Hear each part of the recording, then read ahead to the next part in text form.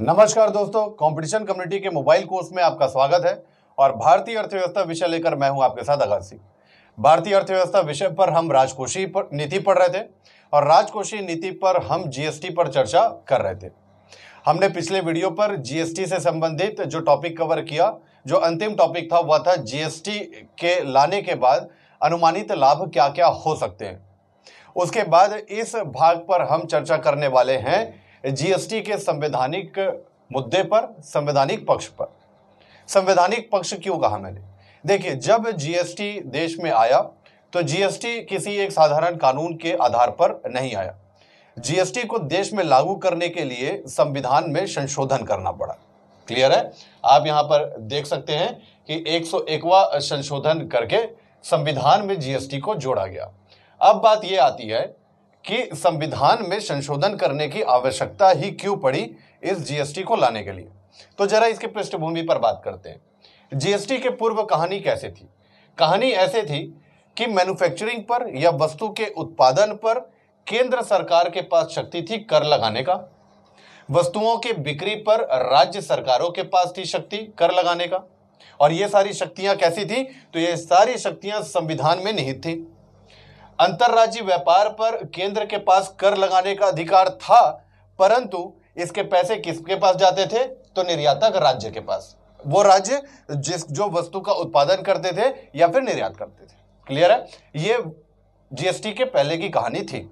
और ये सारी जो शक्तियाँ केंद्र राज्य के पास में ये विभाजित थी, ये कहाँ पर लिखी हुई थी? तो ये देश के संविधान पर, अनुच्छेदों पर इसका उल्लेख किया गया था। क्लियर है? अब जीएसटी जब आ रहा था तो जीएसटी की रूपरेखा कैसे बनने वाली थी? GST one nation one tax और वन मार्केट पर बेस था। वन टैक्स वन मार्केट पर बेस था। अर्थात सभी राज्यों पर जो कर की दर होगी, वो समान होगी। तो अलग अलग राज्य जो अलग अलग कर की दर लगाते थे अपने अपने शक्तियों का इस्तेमाल करते हुए ये शक्तियाँ अब छिनने वाली थी। तो एक प्रकार से आप ये समझ सकते हैं कि संविधान पर क्योंकि ये शक्तियाँ दी गई थी, अब इन शक्तियों को जब आप खींचने वाले हैं, इन शक्तियों को जब आप हटाने वाले हैं तो संविधान में भी कुछ अंतर करना पड़ेगा। और उसी अंतर को हम क्या कहते हैं? संविधान में किया गया अमेंडमेंट या फिर संशोधन। क्लियर है? अब ये किस प्रकार का संविधान में संशोधन हुआ? तो जरा इस पर बात करें। तो जीएसटी को लाने के लिए संविधान में जो बदलाव किए गए, उस बदलाव के लिए स्पेशल मेजोरिटी की ज़रूरत थी। स्पेशल मेजोरिटी किस प्रकार की? ऐसा कि जब संविधान में संशोधन किया जाएगा तो पार्लियामेंट के टोटल मेंबरशिप का 50 प्रतिशत से ज़्यादा होना चाहिए इसके पक्ष में, मत। और वो जो मत होगा, वो जितने लोग प्रेजेंट है और वोट कर रहे हैं उनके दो तिहाई से अधिक होना चाहिए और साथ ही साथ पचास प्रतिशत से ज़्यादा राज्यों की भी मंजूरी चाहिए। क्लियर है? अब इस प्रकार का संविधान में संशोधन क्यों किया गया? अर्थात राज्यों की मंजूरी क्यों ली गई? इसके पीछे आधार है भारत का बेसिक स्ट्रक्चर या फिर फेडरल सिस्टम ऑफ़ कॉन्स्टिट्यूशन या फिर भारत का संघवाद। संघवाद क्या होता है?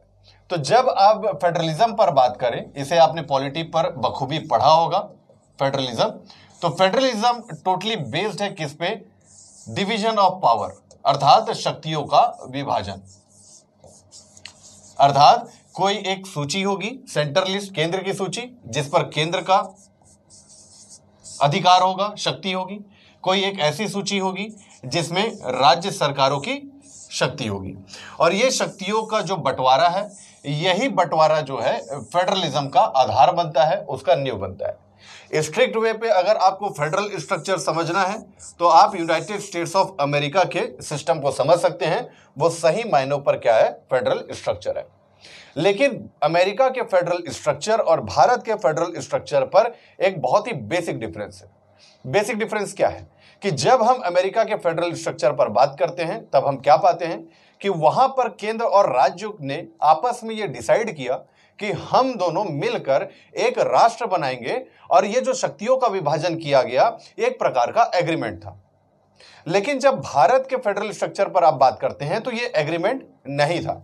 ये जब संविधान बनाया गया, उस समय देश की परिस्थितियों के आधार पर यह माना गया कि हमें, अर्थात अलग अलग राज्यों को एक कोऑपरेशन के साथ में, एक सहकारिता के साथ में आगे बढ़ना होगा। सबका साथ, सबका विकास जैसी अवधारणा यहाँ पर लागू की गई। और इसलिए राज्य भी अपने हितों की रक्षा कर सके, इसलिए उन्हें कुछ शक्तियाँ दी गई। उन्हें कुछ शक्तियाँ दी गई और शक्तियाँ तभी दी जाती है जब कोई ज़िम्मेदारी दी जाती है, कोई रेस्पॉन्सिबिलिटी दी जाती है। क्योंकि किसी भी प्रकार की रेस्पॉन्सिबिलिटी को अगर पूर्ण करना है तो शक्तियाँ तो दी जाएगी। और रेस्पॉन्सिबिलिटी क्या थी? तो अपने अपने राज्य के लोगों के हितों की रक्षा करना। अब रेस्पॉन्सिबिलिटी दी गई, शक्ति दी गई, लेकिन ये शक्ति कहाँ से आएगी? तो शक्ति आएगी फाइनेंशियल पावर से फाइनेंशियल पावर वित्तीय ताकत से। जब किसी राज्य के पास में ये रेस्पॉन्सिबिलिटी है कि वह अपने राज्य के जो निवासी है, उनके हितों की रक्षा करेगी तो उनके पास में ये संसाधन होने चाहिए जिसके माध्यम से ये रक्षा करेंगी, उनको सेवाएँ पहुंचाएँगी। और ये जो संसाधन है, ये संसाधन एक प्रकार का क्या है? रुपया, पैसा और ये पैसा कैसे आएगा? तो ये राज्य सरकारों के पास में शक्ति होना चाहिए कि अपनी आय अर्जित करें और फिर क्या करें ये? उसी पैसे का इस्तेमाल करके इन निवासियों के हितों की रक्षा करें। ठीक है? तो अगर रेस्पॉन्सिबिलिटी दी गई तो इसीलिए शक्ति भी दी गई और शक्ति से मेरा अभिप्राय यहाँ पर फाइनेंशियल पावर से। लेकिन जब जीएसटी आया तो जीएसटी की मूल अवधारणा ही यह कहती थी कि राज्यों के पास में अपने स्वयं के कर निर्धारित करने का अधिकार अब नहीं रहेगा। एक प्रकार से रेस्पॉन्सिबिलिटी तो रहेगी, लेकिन जब शक्ति की बात कर रहे हैं तो शक्तियाँ नहीं रहेगी। तो बिना शक्तियों की रेस्पॉन्सिबिलिटी कैसे हो पाई?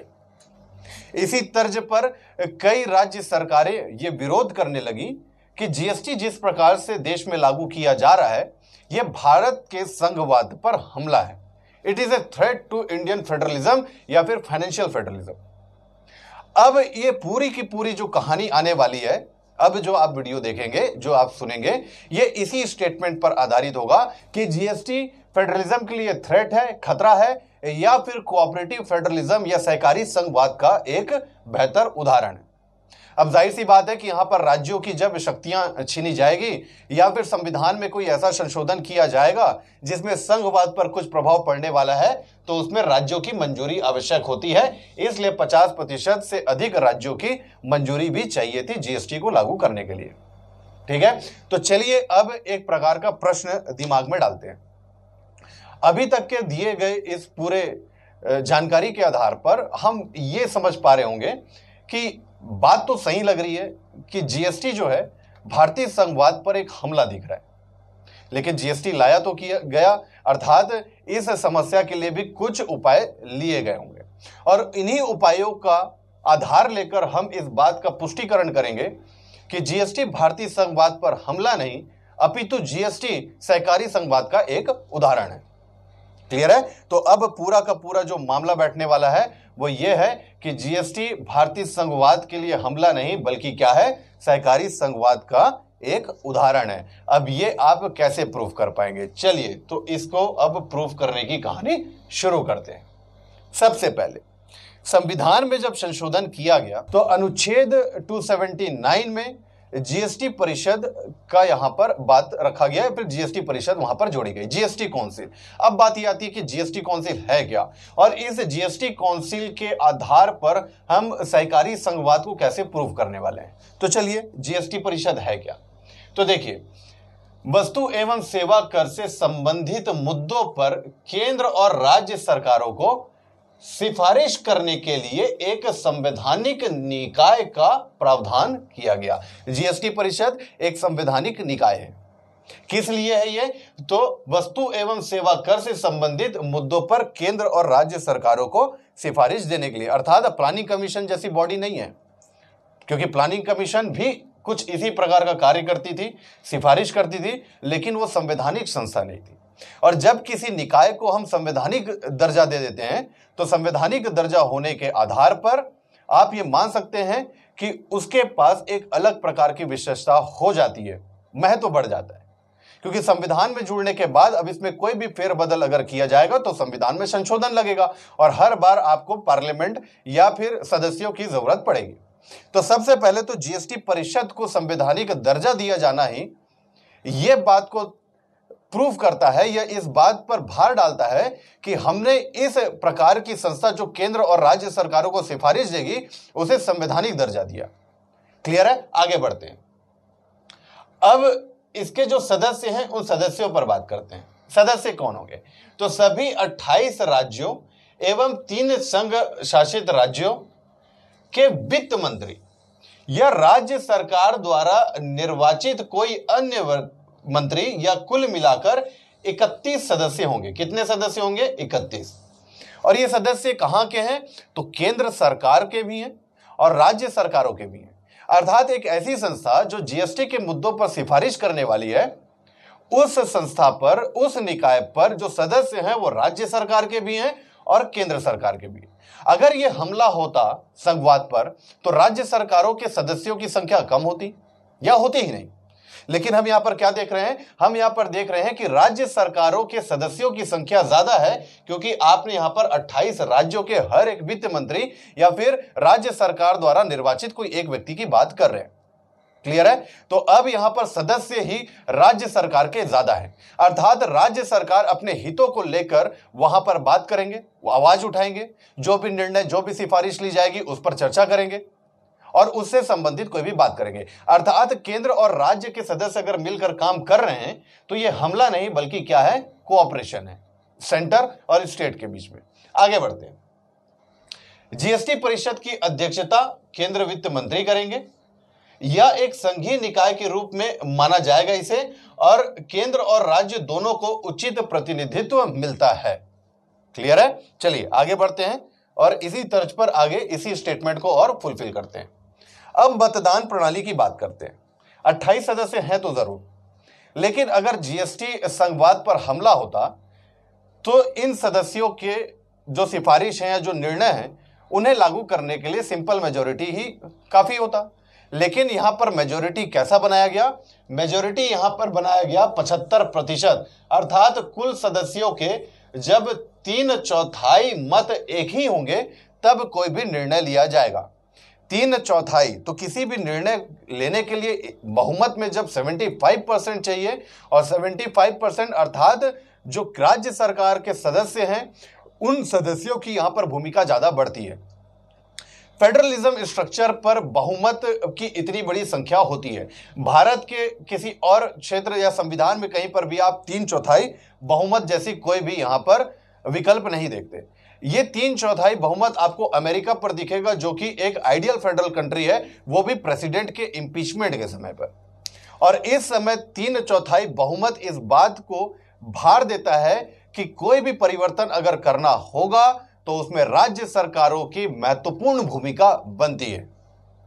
राज्य सरकार जब तक किसी एक मत पर खड़े नहीं होंगे, तब तक तीन चौथाई बहुमत नहीं बन सकता। तो राज्य सरकार किसी मत पर तभी आएँगे जब उनकी बात वहाँ पर, जब उनके इंटरेस्ट वहाँ पर फुलफिल हो रहे होंगे। क्लियर है? आगे बढ़ते हैं। भारी बहुमत का सिद्धांत है, केंद्र सरकार का मान एक तिहाई वोट है सभी राज्य सरकारों का एक साथ मिलकर दो तिहाई वोट माना जाता है। अर्थात, वोटिंग पावर भी क्या है? केंद्र सरकार के पास कम है, लेकिन राज्य सरकारों के पास दो तिहाई वोटिंग पावर है। क्लियर है? एक पर्सन एक मतलब राज्य सरकारों का वोट एक माना जाएगा, केंद्र का एक माना जाएगा, ऐसा भी नहीं है।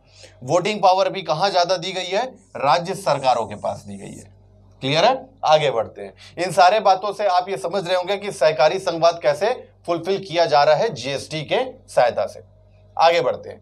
अब जीएसटी परिषद के कार्य क्या है? एक और चीज़ आप याद कर लें, कार्य से पहले कि जो कोरम चाहिए। कोरम का अर्थात क्या है कि किसी भी जो परिषद होंगे, उनके कार्य को शुरू होने के लिए भी एक मिनिमम नंबर ऑफ़ मेंबर्स चाहिए। उसे क्या कहा जाता है? कोरम निर्णय लेने पर तो 75 परसेंट की बात है कोरम क्या है? सिर्फ़ चर्चा शुरू हो। और ये जीएसटी परिषद में 50 प्रतिशत का कोरम चाहिए। क्लियर है? सामान्य तौर पर हम ये कोरम 10 परसेंट, बीस परसेंट देखते हैं। लेकिन जीएसटी पर इसी संघवाद को बचाए रखने के लिए सारे सिस्टम को रिजिड बनाया गया है, कठोर बनाया गया है, ताकि संघवाद पर किसी भी प्रकार का हमला ना हो, बल्कि राज्य सरकारों की भूमिका ज़्यादा हो। और राज्य सरकारों की जब भूमिका ज़्यादा होगी तो वह संघवाद की जो मूल अवधारणा है वह भी बची रहेगी। जीएसटी के कार्य पर अगर हम बात करें तो जीएसटी परिषद का कार्य निम्नलिखित विषयों पर केंद्र और राज्य सरकारों को सिफारिश करना है। अब वो निम्न विषय कौन कौन से हैं? तो पहला, केंद्र सरकार और राज्य सरकार स्थानीय निकाय, अर्थात नगर निगम नगर पालिका द्वारा वसूले जाने वाले कर, उपकर, अधिशुल्क, जिन्हें जीएसटी के अंतर्गत समाहित किया जा सके, इस पर ये क्या करेंगे? सिफारिश करेंगे। और क्या सिफारिश करेंगे? ऐसी वस्तुओं के बारे में सिफारिश करेंगे जिन्हें जीएसटी के अधीन या उससे छूट प्रदान की जा सके। और क्या सिफारिश करेंगे? एक आदर्श जीएसटी कानून बनाने के लिए आईजीएसटी के बंटवारे के लिए, आपूर्ति के लिए। सीमा रेखा जिसके नीचे वस्तु और सेवा के टर्नओवर को जीएसटी से छूट प्रदान की जाए, अर्थात एक लिमिट के बाद एक एक मिनिमम लिमिट होगी थ्रेश लिमिट होगी, उसके नीचे के टर्नओवर के आधार पर जीएसटी उन्हें पे नहीं करना होगा। यह भी डिसाइड कौन करेगा? तो जीएसटी परिषद सिफारिश करेगी, एक प्रकार का क्या है ये? डिसाइड ही कर रही है। वह दिनांक जब से कच्चा तेल high speed diesel motor spirit अर्थात पेट्रोलियम पदार्थ और जो हमारा नेचुरल गैस होता है, वो दिनांक डिसाइड करेंगे जिस दिनांक से इन्हें भी जीएसटी के अंदर समाहित कर दिया जाए। तो एक प्रकार से आप समझ रहे होंगे कि जीएसटी परिषद जीएसटी से संबंधित हर प्रमुख निर्णय या फिर हर निर्णय लेने के लिए उत्तरदायी है। और इस प्रकार से जीएसटी से संबंधित जो भी निर्णय लिए जाएँगे, वो राज्य सरकारों की अधिक भागीदारी के आधार पर ही लिए जाएँगे। तो फिर ये हमला कैसे हुआ? ये तो सहकारी संवाद का उदाहरण ही प्रस्तुत किया जा रहा है जीएसटी के माध्यम से ही। आगे बढ़ते हैं।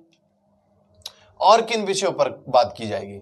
किसी भी प्राकृतिक आपदा या विपदा के दौरान अतिरिक्त संसाधन इकट्ठा करने हेतु किसी विशेष अवधि के लिए कोई विशेष दर या दरें। क्लियर है? हो सकता है कि अभी ये जो पेंडेमिक कोविड 19 चल रहा है, उसके लिए भी कुछ ऐसे कार्य किए जाए। उत्तर पूर्वी एवं पर्वतीय राज्यों जैसे अरुणाचल प्रदेश, असम, मणिपुर, मेघालय, मिजोरम, नागालैंड, त्रिपुरा, सिक्किम, जम्मू, कश्मीर, हिमाचल प्रदेश, उत्तराखंड के संबंध में विशेष प्रावधान लाया जाए। ठीक है? जैसे अगर थ्रेश लिमिट की हम बात करें तो threshold limit north east state में अलग बनाए गए क्लियर है? चलिए जीएसटी परिषद द्वारा यथा निर्णय एवं जीएसटी से संबंधित कोई अन्य मामला जिस पर परिषद निर्णय ले सकती है। अंतिम लाइन क्या बताता है कि कोई भी मामला होगा जीएसटी से संबंधित जीएसटी परिषद निर्णय ले सकती है। क्लियर है? और यह भी सुझाव दे सकती है कि इस मामले पर निर्णय लेने का अधिकार भी किसके पास है? जीएसटी परिषद के पास है। तो जीएसटी से संबंधित सारे निर्णय कौन करने वाला है? जीएसटी परिषद। इसमें सदस्य कौन है? राज्य के ज़्यादा है। वोटिंग पावर किसके पास है? राज्यों के पास ज़्यादा है। बहुमत किस, कैसा है? तीन चौथाई मतलब राज्यों की भूमिका ज़्यादा है। कोरम कितने हैं? पचास प्रतिशत मतलब ज़्यादा राज्य की संख्या होगी, राज्य सरकारों की, तब इसकी कार्रवाई शुरू होगी। तो इस तर्ज पर आप ये बात रख सकते हैं। ये उदाहरण देकर जीएसटी परिषद का कि जीएसटी परिषद भारतीय संघवाद को बचाए रखने के लिए एक संवैधानिक निकाय है। और इस प्रकार से जीएसटी की जो पूरी प्रणाली है, ये संघवाद पर हमला नहीं, बल्कि कोऑपरेटिव फेडरलिज्म का एग्ज़ाम्पल है। क्लियर है? तो इस प्रकार से आप ये उत्तर लिख सकते हैं। साथ ही साथ जीएसटी परिषद के कार्य उद्देश्य सदस्य, इससे संबंधित जो भी प्रश्न आएँगे, इन्हीं कंटेंट के आधार पर आप उनका भी उत्तर लिख सकते हैं। चलिए आगे बढ़ते हैं।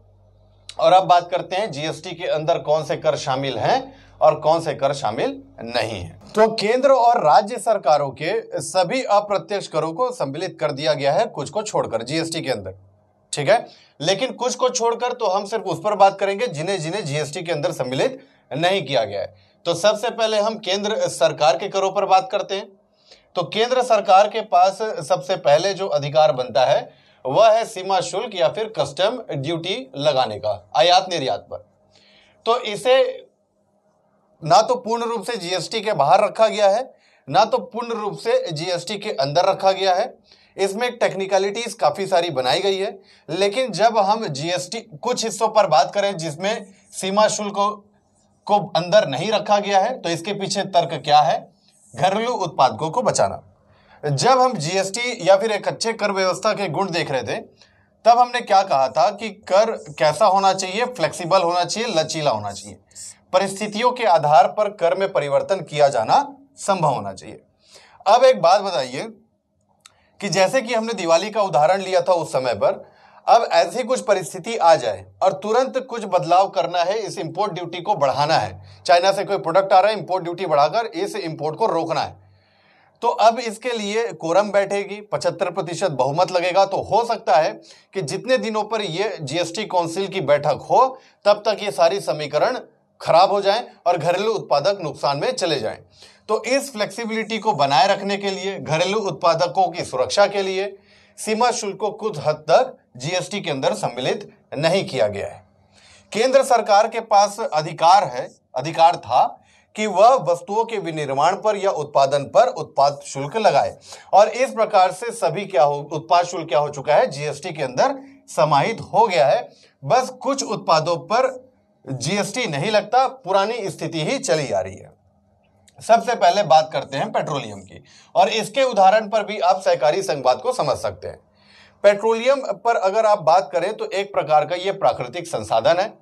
और इस प्राकृतिक संसाधनों के दोहन से वो राज्य सरकार, जिनके पास ये प्राकृतिक संसाधन है, वो अच्छी खासी इनकम जनरेट कर पा रही है। क्लियर है? अब अगर पेट्रोलियम पदार्थ पर भी राज्य सरकारों की शक्ति को खींच लिया जाएगा कर लगाने का तो इन प्राकृतिक संसाधनों का उस राज्य में होने का क्या लाभ? तो इस कारण से कई राज्य जिनके पास ये प्राकृतिक संसाधन थे, पेट्रोलियम था, उन्होंने इसकी मांग की कि जीएसटी के अंदर इस उत्पाद शुल्क को, पेट्रोलियम पर लगने वाले उत्पाद शुल्क को नहीं रखना चाहिए। इससे हमारी आय पर बहुत ज़्यादा नकारात्मक प्रभाव पड़ेगा। तो इसके लिए क्या किया गया कि एक नियत मतलब कुछ दिन के लिए टाल दिया गया, पेट्रोलियम को जीएसटी के अंदर सम्मिलित नहीं किया गया। फिर उसके बाद तंबाकू पदार्थ और अल्कोहल जो कंजप्शन के लिए अल्कोहल यूज़ होता है, मादक पदार्थों के लिए, इसे भी, इसमें भी जो उत्पाद शुल्क लगता था, वही स्थिति बनी हुई है। अर्थात इसे भी जीएसटी के अंदर शामिल नहीं किया गया है। इसके पीछे तर्क क्या? तो एक अच्छे कर व्यवस्था के क्या गुण होने चाहिए, उसमें हमने दक्षता की बात की थी एफिशिएंसी की। कि एक टैक्स सिस्टम ऐसा होना चाहिए जिससे सरकार को आय भी अधिक मिले और ऐसे नकारात्मक पदार्थ जो समाज के लिए हानिकारक है, इनके उत्पादन पर भी कमी आए।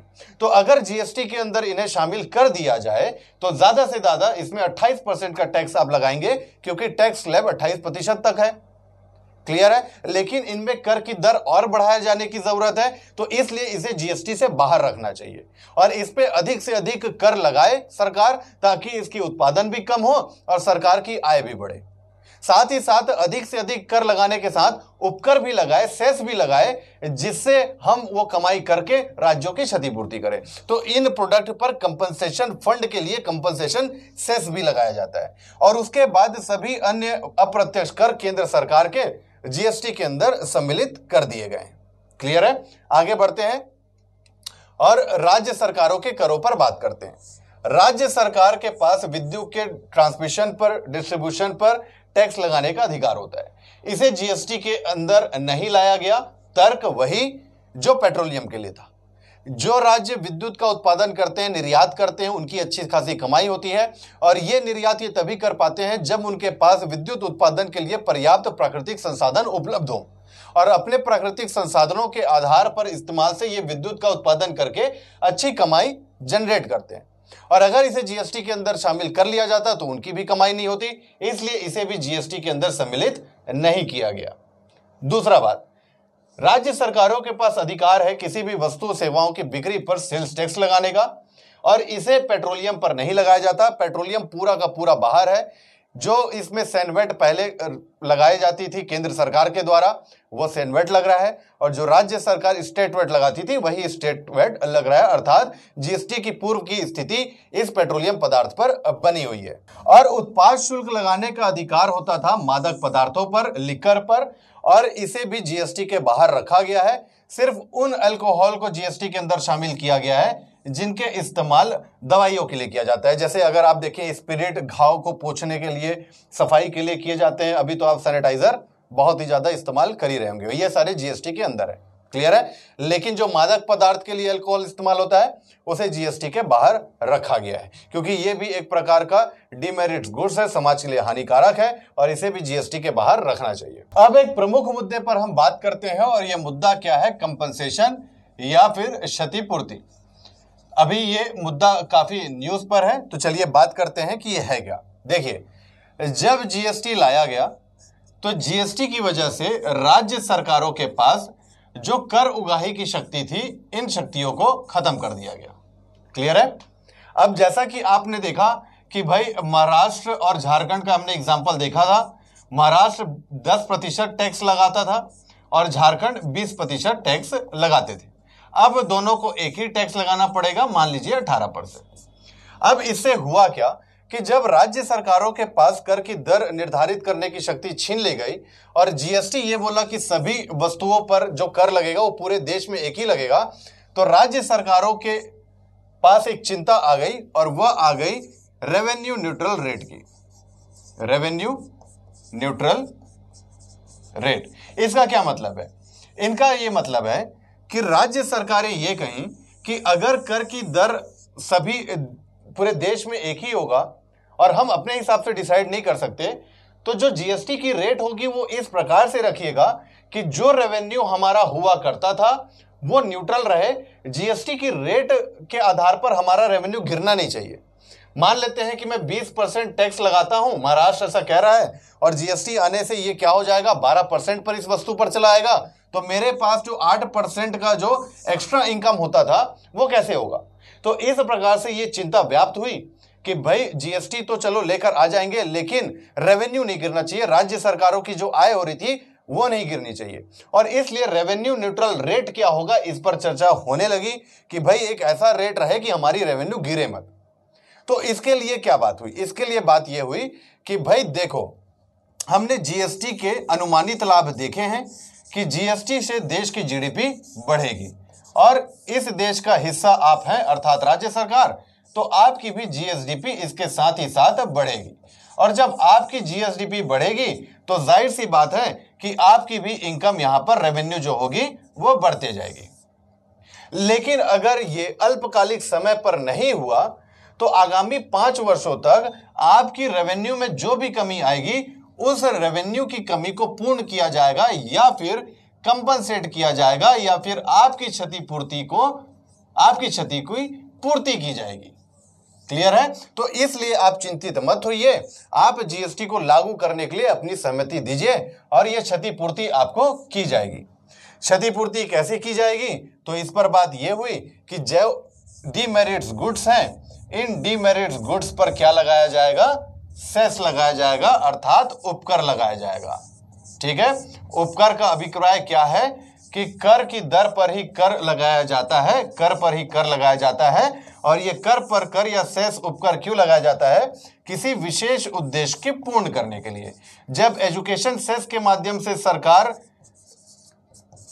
आय अर्जित करेगी तो उसका इस्तेमाल एजुकेशन के लिए किया जाएगा। जब स्वच्छ भारत मिशन सेस लगाया जाएगा तो उससे जो आय मिलेगी, उसका इस्तेमाल स्वच्छ भारत के लिए किया जाएगा। तो इस प्रकार से ऐसे डिमेरिट्स गुड्स पर कंपनसेशन सेस या क्षतिपूर्ति उपकर लगाया जाएगा और इस सेस के माध्यम से जो भी आय अर्जित होगी, उसका इस्तेमाल केंद्र सरकार इन राज्य सरकारों की क्षति पूर्ति करने के लिए करेगी। यह बात डिसाइड हुई पाँच सालों के लिए। क्लियर है? 2017 से 2022 तक की कहानी। लेकिन अभी वर्तमान में क्या मुद्दा बन चुका है? मुद्दा यह बन चुका है कि केंद्र सरकार ऐसा करने के लिए सक्षम नहीं है, ऐसा केंद्र सरकार का कहा जा रहा है। तो चलिए बात करते हैं इस मुआवजे पर कंपनसेशन पर। जीएसटी मुआवजा, इन सारे चीज़ को पढ़ते हैं। जीएसटी लागू होने के बाद अधिकांश करों के रूप में राज्यों के पास बहुत सीमित कर अधिकार रह गए हैं। क्योंकि पेट्रोलियम, शराब और स्टाम्प ड्यूटी पर रोक लगा दी गई थी, जिन्हें जीएसटी के अंतर्गत शामिल किया गया था। तो इन उत्पादों के माध्यम से राज्य सरकार आय अर्जित अभी भी कर रही बहुत सीमित है, लेकिन। जीएसटी अधिनियम 2017 के अंतर्गत राज्य, राज्यों को पाँच वर्ष 2017 से 2022 की अवधि के लिए जीएसटी के कार्यान्वयन के कारण हुए राजस्व के नुकसान। ध्यान दीजिएगा, राजस्व के नुकसान की भरपाई की गारंटी दी गई है। किसके द्वारा? तो जीएसटी अधिनियम 2017 के आधार कंपनसेशन टू स्टेट्स मुआवजे की गणना कैसी होगी? तो राज्यों के वर्तमान जीएसटी राजस्व और 2015-16 के आधार वर्ष को मानकर 14 प्रतिशत की वार्षिक वृद्धि दर के आकलन के बाद संरक्षित राजस्व के बीच के अंतर को भरपाई माना जाएगा। अर्थात जो भी आय हो रही है और जो 2015-16 में, अर्थात जीएसटी के पहले जो हुआ करता था तो दो, जो 2015-16 में होता था और जो भी वर्तमान में हो रहा है, इन दोनों के गैप जो बन रहे हैं, उसकी क्षतिपूर्ति की जाएगी। ये मानकर कि वार्षिक वृद्धि दर जीएसडीपी की 14 प्रतिशत बन रही है तो इतना मिलना चाहिए अभी वर्तमान में इनको। जैसे फॉर एग्जांपल 2015-16 पर किसी एक राज्य को सौ रुपए मिल रहा है। क्लियर है? और अब 2020 में 110 रुपए मिल रहा है। तो आप ये कहेंगे कि सर, ये ज़्यादा क्षतिपूर्ति नहीं होगी, लेकिन कैलकुलेट किया जाएगा कि अगर 14 प्रतिशत की वृद्धि दर हुई होती जीएसडीपी बढ़ी होती, तब कितना इनकम होता? तब इतना इनकम होता 150 तो इन्हें चालीस रुपए की क्षतिपूर्ति देनी होगी। क्लियर है? ये इस स्टेटमेंट का अर्थ है। चलिए, आगे बढ़ते हैं। जीएसटी मुआवजे के पीछे का तर्क कि क्यों करेंगे ये मुआवजा? तो जो मैंने आपको समझाया वही है। क्या है? कि विनिर्माण क्षेत्र कर संग्रहण से वंचित रह जाएँगे। क्यों? इसलिए क्योंकि उत्पादन के स्थान पर कर नहीं लगाया जाएगा, जिसका अर्थ यह भी है कि विनिर्माण क्षेत्र कर संग्रहण से वंचित रह जाएँगे। और यही कारण है कि कई राज्यों ने जीएसटी के विचार का कड़ा विरोध किया था। आपने उदाहरण देखा था सीएसटी केंद्रीय बिक्री कर का। मैंने क्या बताया था कि जीएसटी से पहले जब अंतरराज्यीय व्यापार होगा तो केंद्र सरकार केंद्रीय बिक्री कर लगाएगी और इससे जो भी आय अर्जित होगी, वह निर्यातक राज्यों को दी जाएगी। लेकिन अब जीएसटी उपभोक्ता कर है, अर्थात जहाँ पर उपभोग होगा, वहाँ पर कर लगाया जाएगा। तो ये विनिर्माण या निर्यातक राज्यों को सीएसटी वाला पैसा नहीं मिलेगा। तो ये एक प्रकार का क्या है? उनका नुकसान हो सकता है और इसीलिए क्या कहा गया कि जीएसटी के विचार के लिए कई राज्यों ने कड़ा विरोध किया गया था। और इसीलिए क्या बात की गई? और हम क्या करेंगे? अर्थात केंद्र सरकार क्या करेगी कि उनकी क्षति जो हो रही है राजस्व की, उसकी पूर्ति की जाएगी। वर्तमान का मुद्दा क्या है? हाल ही में हुई जीएसटी परिषद की इक्यालीसवीं बैठक में केंद्रीय वित्त मंत्री ने कहा कि केंद्र राज्यों को मुआवजा नहीं दे सकेगा। अर्थात जिस मुआवजे की बात की गई थी, गारंटी दी गई थी, वो मुआवजा नहीं दे सकेगा। केंद्र इस बात पर विशेष बल दे रही है कि इस वर्ष कोविड 19 महामारी के कारण जीएसटी संग्रहण में तेज़ी से कमी आई है।